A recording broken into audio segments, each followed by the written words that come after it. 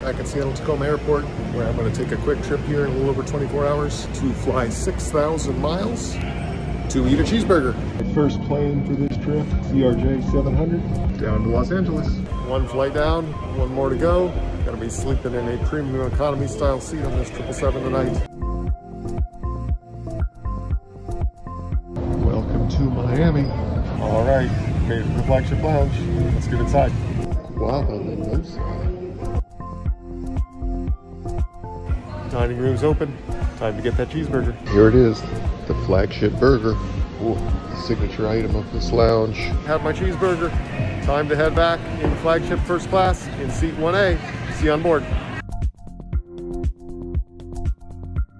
Be boarding back to Seattle here on Alaska Airlines any second. Thanks for coming along on this uh, little whirlwind adventure to go get a cheeseburger flying 6,000 miles in 24 hours.